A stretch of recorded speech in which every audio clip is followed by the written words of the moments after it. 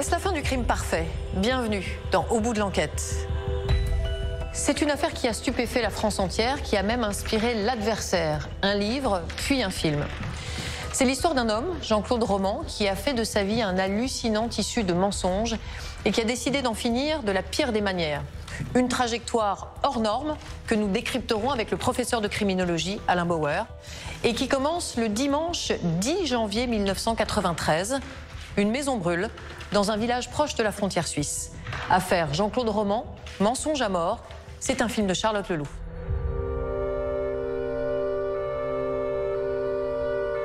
Nous sommes dans la nuit du 10 janvier 1993 lorsqu'on reçoit l'appel du centre de traitement de l'alerte du 18. Je me rappelle, c'est qu'à 4 heures du matin, il, pleuvait un peu. Et les éboueurs qui font euh, leur tournée découvrent euh, de la fumée qui sort d'une maison, la maison de la famille Roman. On fait tout de suite ce qu'on appelle une reconnaissance. Et là, on constate les flammes sortent effectivement du, du toit, donc le feu s'est déjà développé. Et on n'a aucun accès, tous les volets sont fermés et la porte est fermée à clé. Je me souviens avoir été réveillé par les bruits des pompiers qui branchaient sur la colonne d'eau qui se trouve à l'angle de la rue. Et à ce moment-là, je me suis levé et donc j'ai vu la maison roman en feu. Le toit euh, était vraiment brûlé de façon importante. Moi, je me trouve à ce moment derrière la, maison et je vois qu'il y a un volet qui s'entrebâille au premier étage. On va récupérer une petite échelle puisque c'est au premier étage. Je suis le premier à, pénétrer dans, la maison. Tout est noir, on a des, lampes, hein, bien sûr. Et là, dans la pièce où on pénètre, on constate euh, immédiatement qu'il y a un homme qui, qui respire, qui bouge un petit peu, et une femme à son côté qui est complètement inanimée. Il y a une partie du visage presque qui est écrasée. Pour nous, euh, elle a reçu une partie du toit et sur la tête, ce qui a dû causer son, décès, puisqu'elle n'a aucun signe de, vie à part. La chose qu'on fait immédiatement, c'est d'évacuer l'homme, puisqu'il donne des signes de, vie, euh, de sortir de cette zone dangereuse. J'ai vu euh, Monsieur Roman évacué et il est sorti sur un brancard euh, inanimé. Et on continue l'exploration de cet étage. Il y a deux autres chambres dans lesquelles on pénètre. Et là, il y a deux enfants, un dans chaque chambre, une fille et un garçon. Ils cherchent leur peau rapidement, on ne trouve rien. Pour nous, ils ont dû être asphyxiés par les, fumées, les gaz. C'est toujours très difficile d'être confronté à, des corps d'enfants qui sont décédés.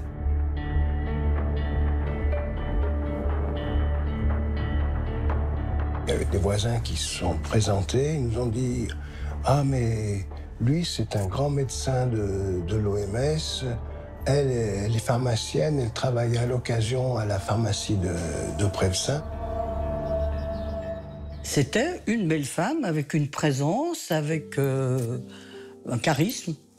Les enfants étaient gentils, bien élevés. C'était effectivement une famille qu'on trouvait normale. Lui, c'était Jean-Claude Roman, sa femme Florence, et les enfants, c'était Caroline et Antoine.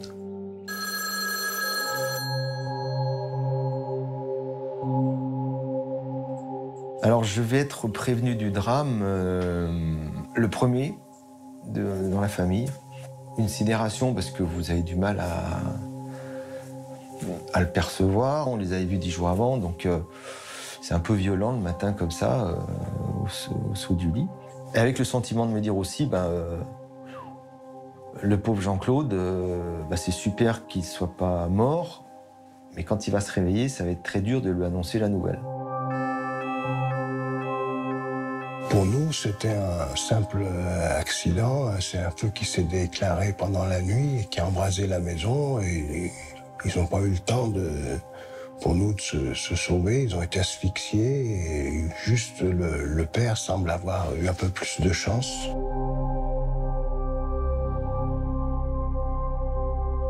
Le regard qu'on porte, c'est forcément un regard euh, déjà euh, policier. On est à la recherche d'éléments euh, techniques, d'indices, enfin, etc.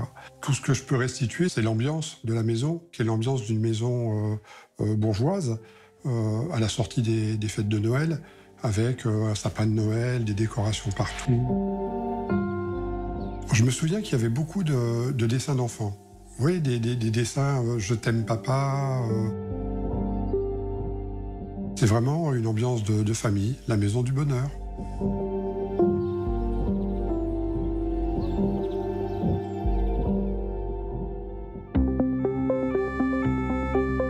Le médecin des, pompiers, dans l'ambulance, examine les, corps des enfants et là, euh, il euh, remarque des impacts de, balles de petit calibre dans le, dos des enfants. Ça met en route un processus d'enquête qui n'a plus rien à voir avec un, accident domestique. Les gendarmes, eux, prennent la décision, ce qui est la procédure normale, d'avertir les parents de Jean-Claude Roman. Les gendarmes, en arrivant, trouvent la maison euh, fermée, ce qui n'est pas euh, habituel. Personne ne répond. Et là, euh, ils découvrent le, les corps euh, des, deux parents de, Jean-Claude Roman euh, et de leur chien tués par balle, d'un calibre qui correspond à peu près à celui qui a été utilisé sur les enfants. Tout ça, ça crie qu'ils ont été tués évidemment par la même personne, sans doute par la même arme. La découverte des parents, c'est vraiment, euh, en plus de ce qu'on a constaté dans la maison, quelque chose qui nous dit Jean-Claude Roman, il y a quelque chose qui ne va pas.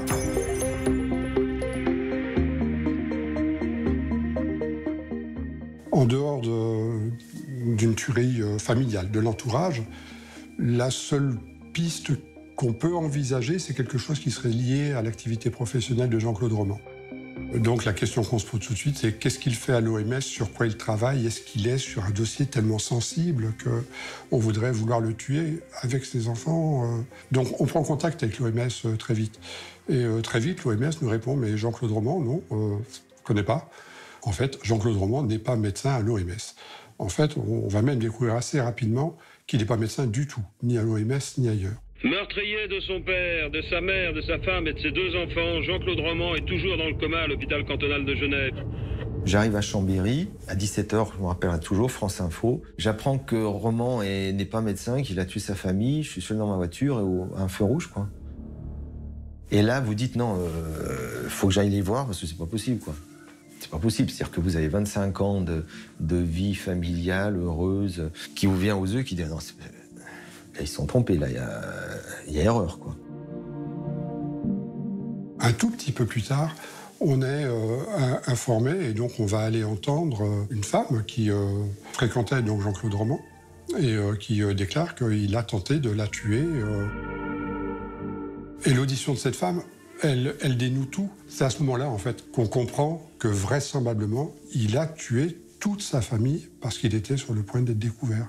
Parce qu'on allait découvrir qu'il mentait depuis toujours.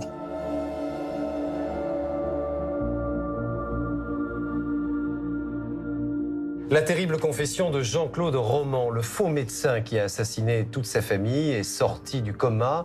Un premier récit et il avait bien apparemment réussi à tromper tout son entourage pendant des années. Je décide de, bah, remonter des Hautes-Pyrénées jusqu'en Haute-Savoie voir maman, parce que vous étiez obligé de l'annoncer, quoi. Donc, ce qui fait que euh, le, moi, j'étais encore en route, et à ce moment-là, euh, euh, le, choc pour ma mère de savoir que sa fille, ses petits-enfants sont morts et que c'est son gendre qui les a tués, ça doit être mais effroyable. Quoi. Donc, euh, j'étais pas encore là, mais elle s'est roulée par terre, elle a crié, il a fallu la calmer. Son médecin est venu. C'est la stupeur. Après, vous cherchez, vous posez des questions. Vous, cherchez à, savoir euh, comment il a tué sa femme et ses enfants.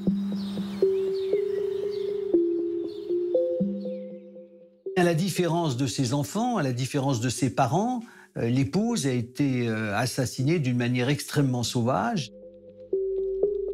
Roman a eu recours à un rouleau à pâtisserie pour euh, frapper son épouse et l'achever de cette manière-là. Pourquoi ce mode-là? C'est une question. Il tue son épouse, il tue ses enfants. Il tue son père, il tue sa mère, il tue son chien. Il prend sa voiture, il se rend à Paris pour rejoindre sa maîtresse et il dit ce soir, nous sommes invités à dîner chez le docteur Kouchner euh, dans sa maison de la forêt de Fontainebleau. Comme par hasard, on ne trouve pas la maison, on tourne, on tourne, on tourne, et au bout d'un moment, on s'arrête.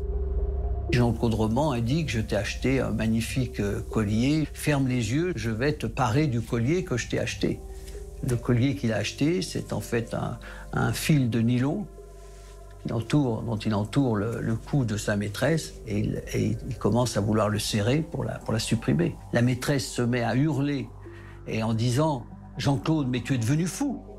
Et là, cette phrase fait que Roman relâche l'étreinte. Il la ramène chez elle en lui demandant de ne rien dire, de ne pas en parler à la police, et il regagne son domicile.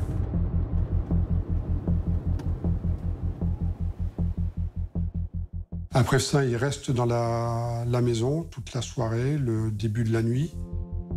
On sait qu'il regarde la télévision, on sait qu'il regarde des, cassettes vidéo. Dans la maison où se trouvaient les cadavres, quand même, il faut le faire. Et puis, euh, il met en scène donc son suicide et l'incendie de la maison. Il a arrosé la maison d'essence, puisqu'il avait bien prémédité cela en achetant des, des d'essence.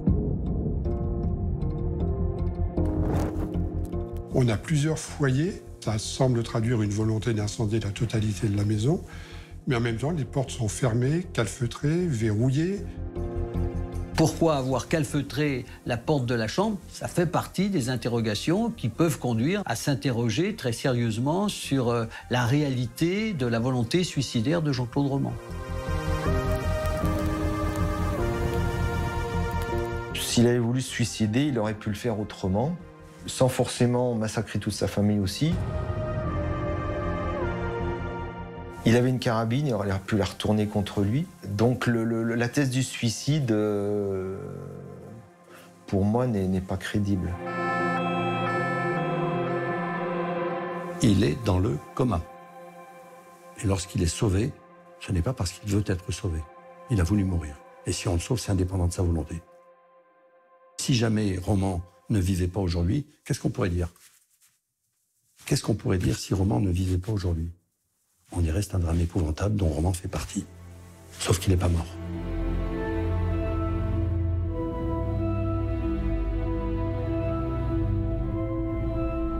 En une seconde, passe pas du dieu de la famille ou de la grande référence à, un monstre, parce qu'il me faut le temps de, le digérer, de le réaliser. Pour moi, c'est pas un monstre, c'est un être humain qui a commis des choses monstrueuses. C'est pas la même chose. Ce qu'il a commis est monstrueux, mais lui, c'est un être humain. Il faut situer son acte dans son histoire. Qui est en fait Jean-Claude Roman? Comment cet homme a-t-il réussi pendant 18 ans à faire croire qu'il était un brillant et riche médecin de l'OMS Pour bien comprendre ce drame épouvantable, il faut euh, reprendre le contexte familial, le cadre familial. La mère de Roman a eu un grave accident à l'âge de 18 ans, elle a été trépanée, elle a eu beaucoup de difficultés après s'être mariée, avoir un enfant. Et en 1954 naît Jean-Claude Roman. C'est un don du ciel, c'est un don de Dieu. En tout cas, c'est un enfant, un enfant roi. Jean-Claude Roman a été l'enfant unique qui a été porté au pinacle dès sa jeunesse. Il a toujours été l'élève le plus brillant partout, partout où il passait. Il était le premier du canton, il était, on pourrait dire, presque un petit dieu. Euh, anecdote, euh, le, sujet de philo qu'il avait au bac, c'est la vérité existe-t-elle? Et il a eu 16 sur 20. Il est venu au lycée du Parc pour faire une formation pour être, devenir ingénieur des eaux et forêts. Le père était lui-même ingénieur des eaux et forêts. Mais au lycée du Parc, il y a d'autres petits dieux. C'est que des types très doués. Et il y avait le bizutage. Il a très très mal supporté le bizutage. Et donc, comme euh, le lycée du Parc ne, convenait pas parce que l'isolement et l'éloignement de sa famille ne la supportaient pas. Il s'est inscrit en médecine. Il a choisi d'aller en médecine parce qu'il s'était inscrit une cousine un peu éloignée, Florence. Ma sœur, c'est pendant sa première ou deuxième année de, de pharmacie qu'elle a vraiment euh, été conquise par Roman, qui lui a vraiment tout fait pour que ce soit euh, sa femme. En deuxième année, il réussit, mais il manque quelques points, il manque deux ou trois points. Il faut passer le, le rattrapage en septembre.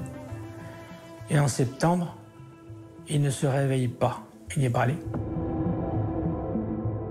Bien à partir de là, tout s'écroule. Mais comme il ne veut pas décevoir sa famille, eh bien, il va cacher tout simplement le fait qu'il a échoué. C'est comme ça qu'il va se, réinscrire artificiellement chaque année, qui va donner l'image de, quelqu'un qui est arrivé au bout de son ambition professionnelle. Et que cette ambition professionnelle, il va la réaliser pleinement par un emploi très convoité à l'OMS à Genève.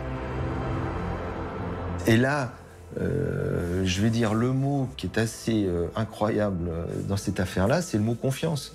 On avait excessivement confiance en lui. Et donc, le jour où ma sœur a annoncé qu'elle allait se marier avec euh, Jean-Claude Roman, forcément, c'était quelque chose de rassurant et d'apaisant pour mes parents. Et on ne se rend pas compte qu'on est progressivement dans une nasse, euh, dans une toile d'araignée. Roman, c'est l'araignée, et il a tissé sa toile qui est totalement invisible. Vous êtes loin de vous dire que euh, bah, y a un loup là au milieu, quoi.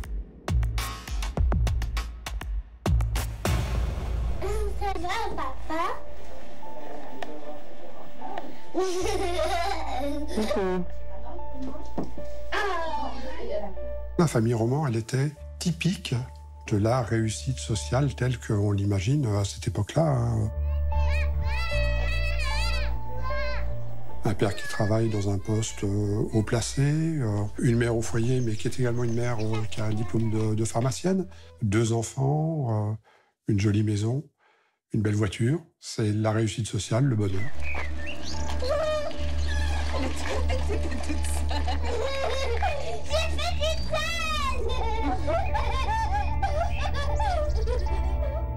À l'unanimité, Roman était décrit comme un bon père. Faut le savoir. À l'unanimité, Roman était décrit comme un bon époux. À l'unanimité, Roman était décrit comme un bon fils. À l'unanimité, Roman était décrit comme un bon ami. Roman est un caméléon, j'allais dire. Il va se mêler en permanence au, au milieu dans lequel il est.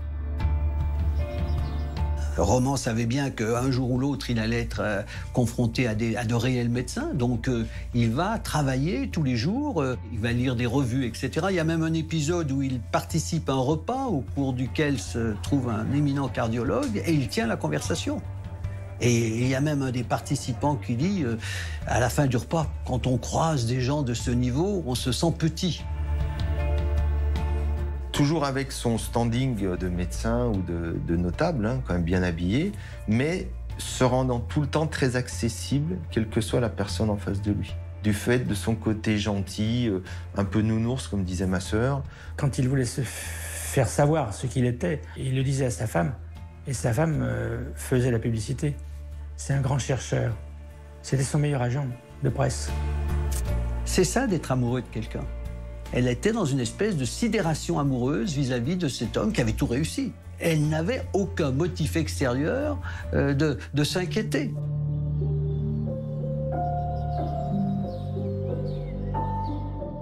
Le schéma type d'une journée de roman, c'était euh, je pars de la maison. D'un point de vue de ma sœur, il bah, fallait qu'il parte tôt, il allait au boulot à l'OMS. Vous imaginez l'anxiété qu'il a dû avoir de partir tous les matins pour bosser, entre guillemets, qu'il ne devait pas être inquiet constamment d'être découvert. Il suffisait d'un coup de fil hein, pour qu'il soit découvert. Il pouvait joindre Florence, mais on ne pouvait jamais le joindre directement. Parce qu'à l'époque, il n'y avait pas de téléphone portable. Ce qui fait que ça le rend d'autant plus invisible et, et impalpable de pouvoir faire ce qu'il veut, parce qu'on ne sait jamais où il était. Il passait ses journées, mais littéralement à ne rien faire. Donc il allait au cinéma, et puis il restait dans sa voiture pendant des heures et des heures sur des parkings.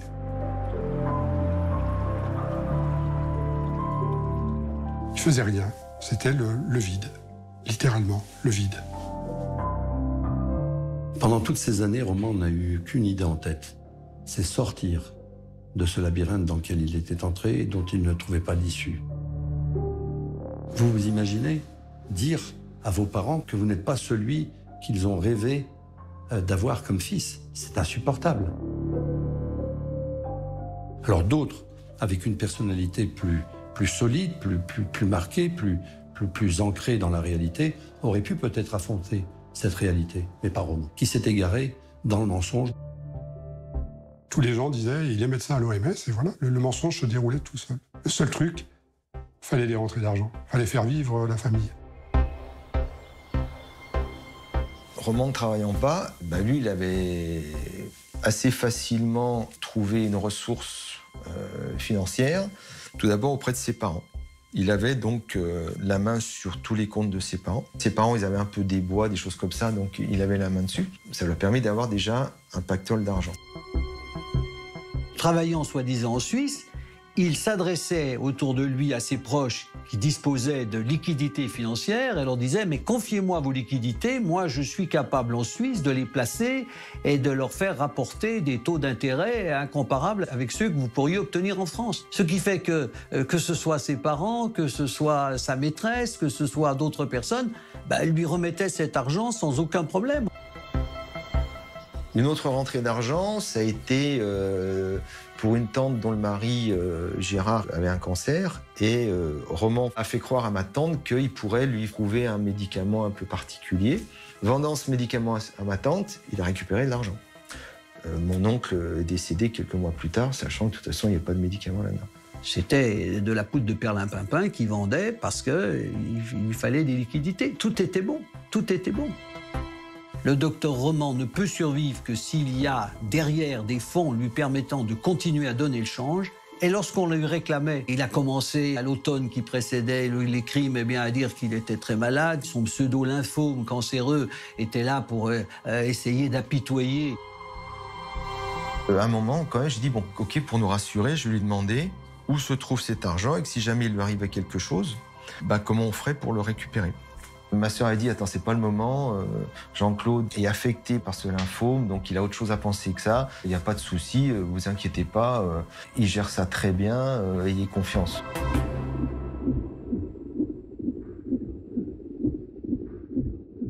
Comment n'a-t-elle pas eu plus de curiosité le concernant?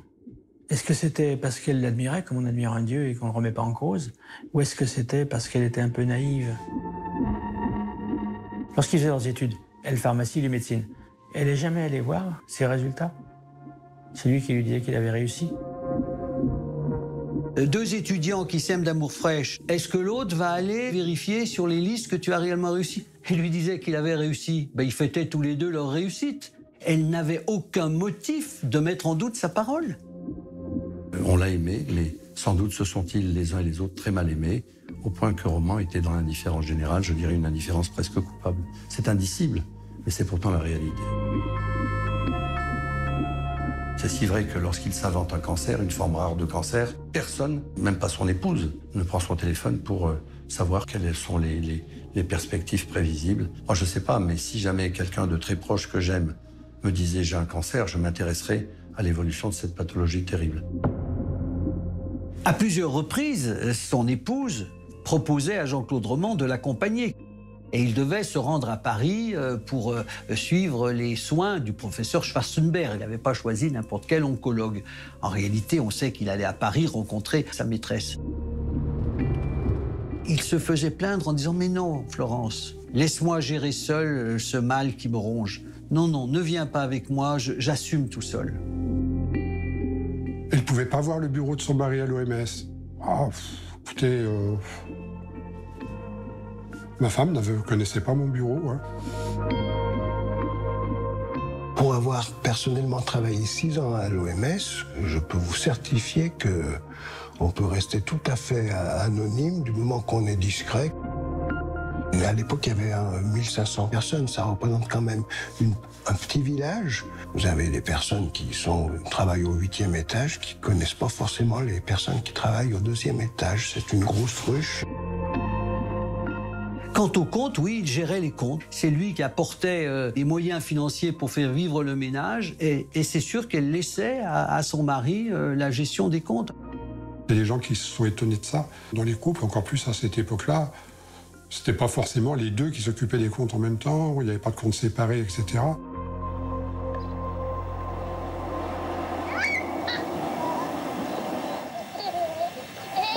Vous vous êtes marié, vous avez des enfants, vous êtes heureuse, parce que Florence était heureuse d'être en, en couple avec Roman.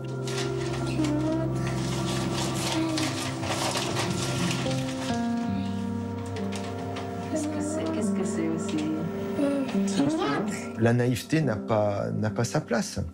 Il y a une relation qui va se faire entre la victime, Florence, et son, son bourreau, quelque part, le pervers narcissique, qui fait qu'il y a une confiance aveugle. Et moi, cet aveuglement, je me refuse à le considérer comme fautif.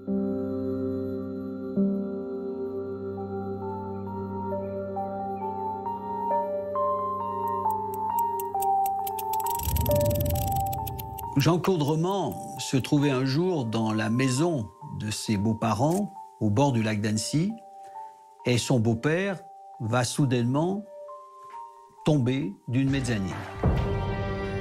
Il n'y a qu'un seul témoin, c'est Jean-Claude Roman. Ce beau-père lui a prêté de l'argent. On a cet autre élément que le beau-père demandait la restitution de l'argent. Je suis persuadé qu'il a tué mon père. Au moment où mon père était au sol, euh, les pompiers arrivant, euh, mon père, les derniers mots qu'il a eus, c'est euh, Jean-Claude Ma. Et à ce moment-là, Roman se précipite sur le masque à oxygène des pompiers et lui met sur la bouche. Donc pour le faire taire. Il y a donc cette chute, très curieuse, qui a donné lieu à l'ouverture d'une information judiciaire au parquet d'Annecy. Cette information judiciaire a été clôturée, faute de preuves. Policièrement, Jean-Claude Roman a peut-être tué son beau-père. Personnellement, j'ai la conviction qu'il a tué son beau-père. Mais bon, c'est- que la conviction là d'un homme. Cette affirmation selon laquelle Roman aurait tué son beau-père est insupportable. Je la trouve même indigne, parce que ça n'est pas dans le dossier, ça ne correspond à aucune réalité objective, il n'y a pas le moindre indice, encore moins la moindre charge, et surtout pas la moindre preuve. Donc si M. Crowley est décédé, c'est vraisemblablement, certainement, à coup sûr parce qu'il a chuté. Personne ne peut me dire le contraire. S'il avoue pour mon père, pour peut-être soulager sa conscience, ça veut dire que dès 88, il prouve que euh, sa machination est déjà en marche depuis belle lurette, quoi. C'est-à-dire qu'il s'avoue à lui-même qu'il est mythomane ou qu'il qu'il ment ou qu'il n'est pas respectable, qu'il n'existe pas. Donc ça, c'est quelque chose qui n'est pas supportable pour un mythomane.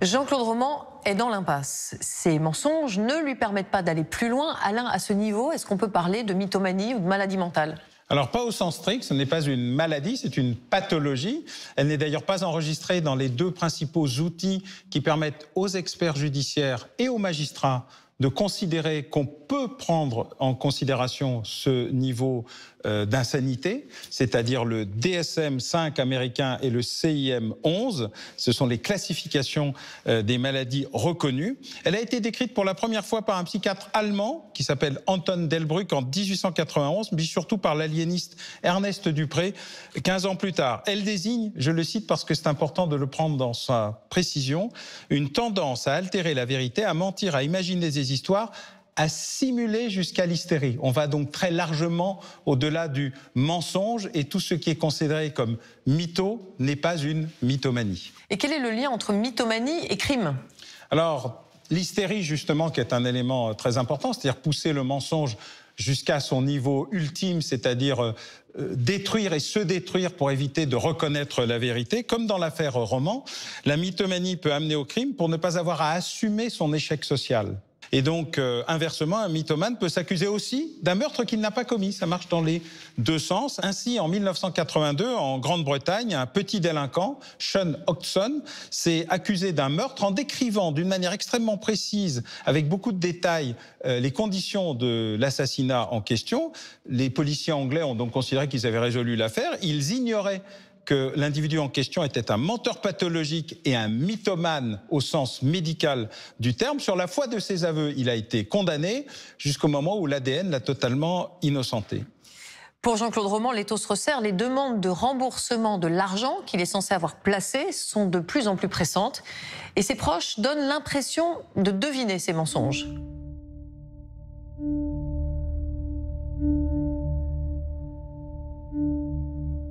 Y a-t-il encore un mystère roman? Il y a euh, l'interrogation sur le fait que des gens ont pu être ainsi bernés pendant des années et des années, jusqu'au jour où les moyens financiers qui lui permettaient de donner le change ont fait défaut, qu'il s'est vu acculé.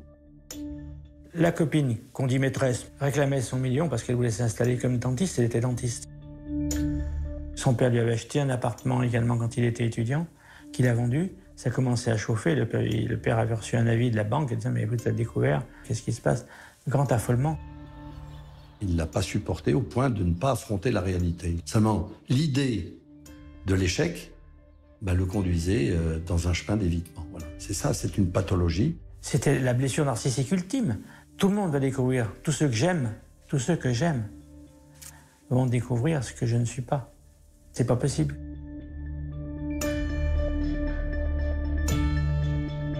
Florence était inscrite dans un cours de peinture sur porcelaine et les derniers mois, elle a commencé à se poser les questions. Le peintre qui dirige cet atelier était une amie. Elle nous a raconté que Florence avait dit Je me demande ce que fait mon mari, je, quand même, je me pose des questions. Florence rencontre une de ses amies dont le mari était réellement, lui, médecin à l'OMS, et qui lui dit Mais il y a eu l'arbre de Noël des enfants de l'OMS, comment se fait-il que tu n'aies pas amené les enfants? Et Florence tombe des nues en disant Ah bon, il y a eu un arbre de Noël à l'OMS, mais Jean-Claude ne m'en a jamais parlé. Je pense que cette affaire de l'arbre de Noël a conduit Florence à interpeller son mari. Durant le Noël 92, que nous avons passé tous en famille, l'ambiance n'était plus la même. Elle nous a servi un mets qui était tout à fait euh, classique et qui n'avait pas la qualité d'un repas de Noël euh, auquel elle nous avait habitués auparavant. Euh, les cadeaux qu'elle avait faits aux enfants n'étaient pas aussi brillants que ce qu'elle faisait avant. Roman, simplement, pendant ces, ces, quelques jours où nous étions, était très fuyant avec nous, mais après il repartait ou il, il tenait pas en place. Quand nous repartons, donc le matin, je suis au volant et je me retourne pour regarder à travers le pare-brise arrière euh, Florence les enfants qui nous saluent. Je me rappelle son regard très triste. Ça, ça me restera euh, aggravé à jamais. Et dans la voiture, au bout d'une heure, je dis bah zut, j'ai oublié de demander à Jean-Claude où se trouve l'argent ou si je. Et à posteriori, je lui dis peut-être que ça, ça nous a sauvé la vie, je ne sais pas.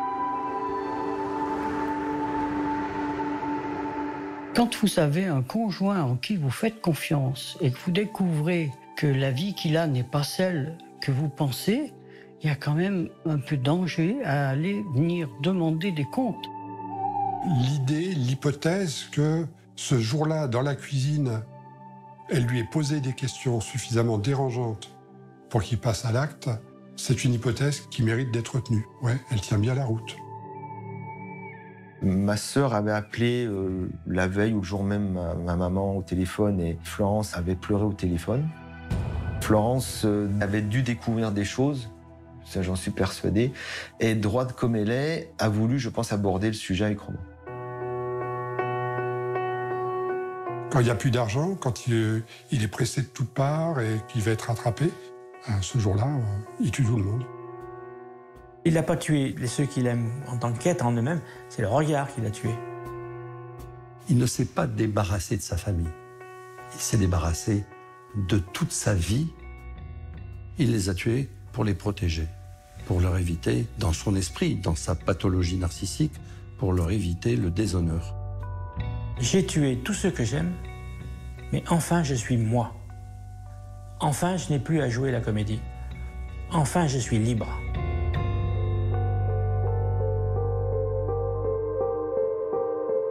Du procès se trouvait à quelques mètres de l'accusé. Imaginez la famille de la victime, la maman de Florence Crollet, ses frères, qui soudainement allait se retrouver à quelques mètres seulement de l'accusé.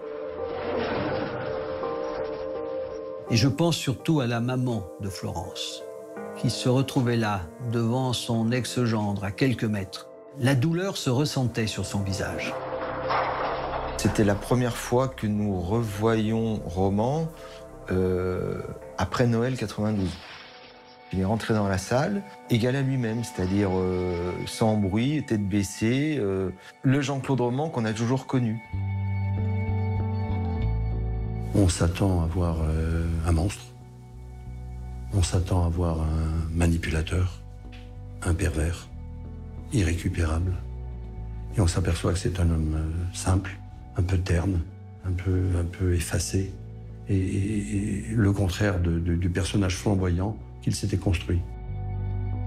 La problématique de ce procès, c'est que Jean-Claude Roman était quasiment insaisissable.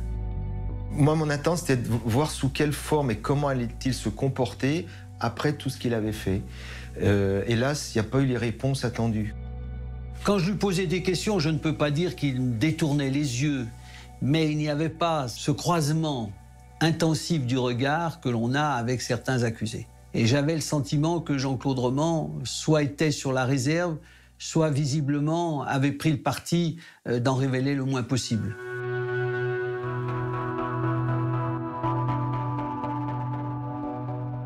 Je cherchais parfois son regard.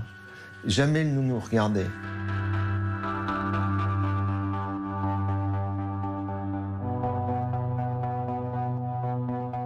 Mais il y a eu dans ce procès un épisode qui nous a tous interpellés.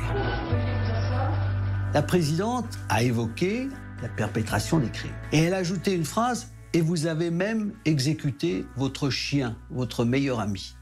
Et Jean-Claude Roman, qui jusqu'alors était resté euh, quasiment impassible, ou du moins n'avait rien exprimé, n'avait rien extériorisé, soudainement va pousser un cri et va là s'effondrer.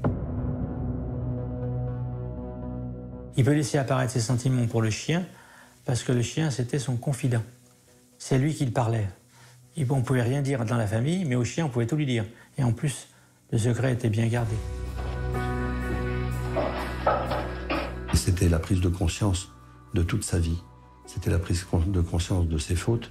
Et c'était justement le mettre face à la réalité, non pas par rapport au chien et au décès du chien, mais par rapport au drame épouvantable euh, qu'il touchait du doigt à cet instant.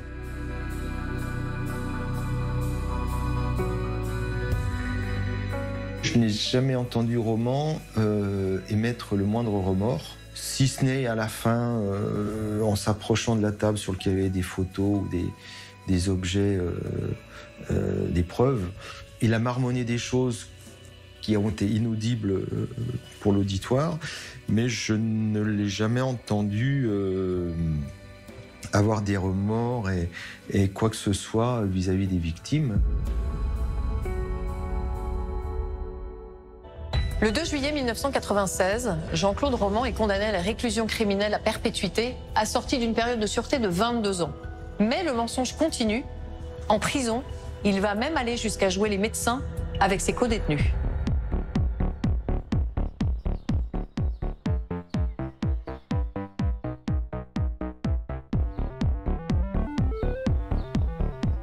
Le problème, c'est que ce narcissisme pathologique qui était le sien a été entretenu tout le temps. À la prison, on l'appelait Monsieur Roman. Et quand les détenus, d'autres détenus étaient malades, c'est lui qui leur disait ce qu'il fallait faire. Il se trompait jamais d'ailleurs. Mais le détenu allait voir le médecin de la prison et disait ouais, faut me faire ça parce que le docteur Roman m'a dit qu'il fallait que je prenne ça. À tel point que le médecin a dit écoutez, j'en ai marre. Il a une lettre au directeur c'est ou moi ou Roman, mais moi je continue pas. Il a continué ensuite à faire comme si, comme il l'avait fait déjà avant, comme un bon médecin, comme un bon père. Là, il était un bon euh, prisonnier. Je sais qu'il était un détenu modèle, qui s'occupait de la restauration de films, de, de- supports audiovisuels, etc. Euh, Il est certain qu'il était un détenu que beaucoup de surveillants pénitentiaires souhaiteraient avoir. C'est un détenu qui n'a pas dû poser au- beaucoup de problèmes au cours de sa détention. Mais c'est parce que c'est Jean-Claude Roman. C'est un chef de la prison, qui a dit, avec des détenus comme ça, on n'aurait pas besoin de mettre des barreaux aux fenêtres. Les visiteuses de prison euh, disent qu'il est devenu leur ami. Et il y en a une qui dit, moi je n'hésiterai pas à lui faire confiance immédiatement. Il a une très grande capacité, il a une, technique de séduction extraordinaire. Je ne sais pas si les gens se rendent compte, les gens qui, qui ont de la bienveillance vis-à-vis de lui, euh, accepteraient un dixième euh, de ce qu'il a fait si, si ça était arrivé. Je dis toujours à ces gens-là, qu'est-ce qu'ils ont fait pour ma maman? Depuis 30 ans, ils ont fait quoi pour elle? Est-ce qu'ils sont allés la voir? Il y a eu les visiteuses de prison qu'on avait pour roman. Euh, c'est tout juste s'ils n'avaient pas vu Jésus, quoi.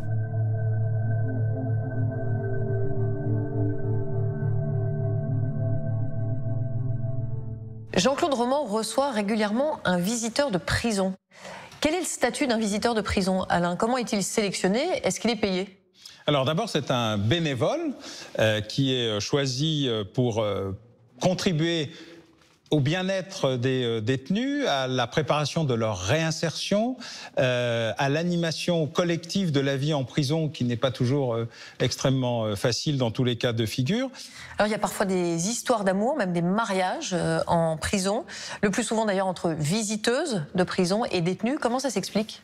Alors il arrive que certains visiteurs ou visiteuses, effectivement, soient atteints du syndrome de l'infirmière, mais ça ne touche pas que les femmes, mais ça incite des inconnus à vouloir sauver à tout prix la personne dont ils ont euh, la charge, particulièrement parmi les détenus pour des faits extrêmement graves, ce qui peut amener soit au mariage, soit parfois à l'incitation à l'évasion. À sa sortie de prison, c'est dans un monastère que Jean-Claude Roman va trouver un point de chute.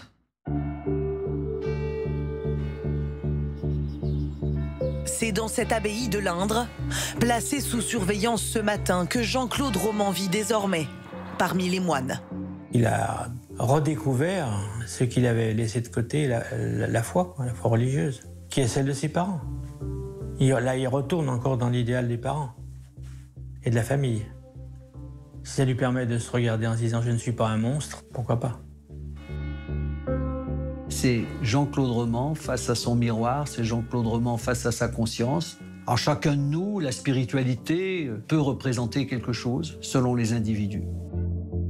Pour moi, tout cet aspect mystique et toute cette conversion en prison euh, n'est qu'une façade et qu'un nouveau personnage. Ça fait 23 ans que vous entendez plus parler de lui, vous dites il est entre quatre murs, et là vous dites qu'est-ce qui nous tombe sur la figure? Et là mon, mon truc il se permet de demander sa remise en liberté conditionnelle, vu ce qu'il a fait, vu ce qu'il a dit. Il n'y a jamais eu, de ma part, le moindre signe de triomphalisme. hein. J'ai jamais classé cette décision au rang de mes succès. Il n'y a pas de risque de récidive. C'est un drame épouvantable, mais Roman doit pouvoir retrouver la liberté. Je l'accepte parce que la justice a décidé cela. Maintenant, ça m'est assez insupportable. Le fait qu'au roman ait vu sa demande de remise en liberté conditionnelle acceptée est un nouvel assassinat de ma sœur. C'est-à-dire c'est un huitième coup de rouleau à pâtisserie sur la figure et coup de carabine sur ses enfants et ses parents. C'est vrai que les gens en parlent et ils n'aiment pas qu'il soit en liberté. Ils comprennent pas pourquoi il est dehors. Quelqu'un qui a assassiné toute sa famille, sa femme, ses enfants, ses parents. Pour ma part, je pense qu'il n'y a pas de rachat possible. Roman a 69 ans. Roman ne peut pas se présenter même à une terrasse de café un jour d'été. Roman survit. Il est sorti d'une forme de réclusion pour entrer dans une autre forme de réclusion. Roman ne peut pas refaire sa vie. Qui voudrait de Roman? Qui pourrait vivre avec Roman? Qui peut dire que Roman n'a pas de remords? Mais Roman souffre au quotidien. Lorsque je évoque avec lui le souvenir de ses parents et de ses enfants et de son épouse, Roman pleure. Roman pleure. Mais ceux qui disent ça ne le voient pas pleurer, ne sont pas au contact de, de, de, de, de cet homme. Donc on dit ce que l'on veut, mais est-ce que ça repose sur une réalité humaine? Je vous dis que non.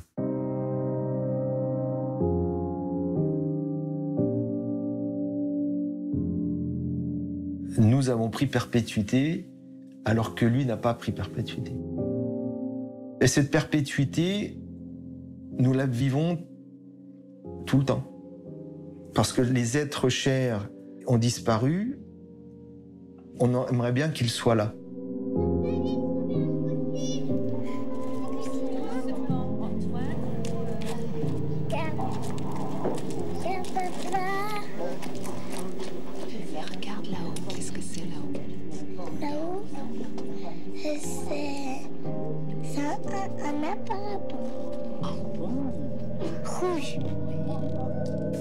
Cette nuit-là, on n'est pas passé à autre chose, au contraire.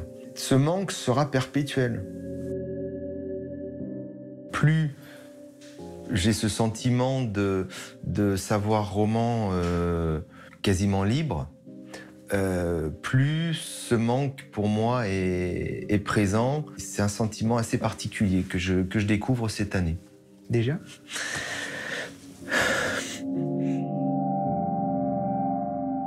On est encore choqué de cette affaire. Ça fait partie quand même des cas très particuliers auxquels j'ai été confronté.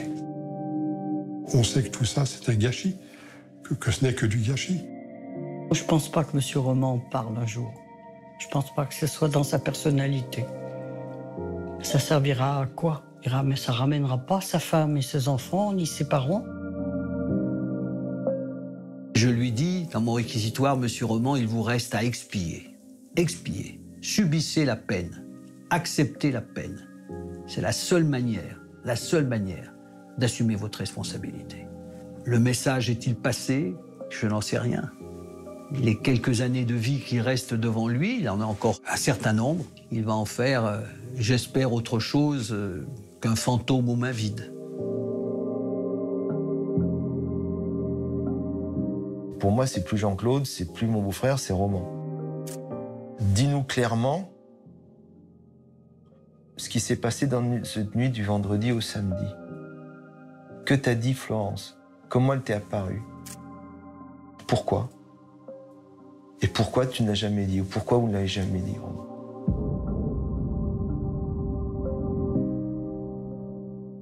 Pour l'ex-belle famille de Jean-Claude Roman, beaucoup de questions demeurent sans réponse. Aujourd'hui, il a purgé sa peine et vit libre dans un village quelque part en France.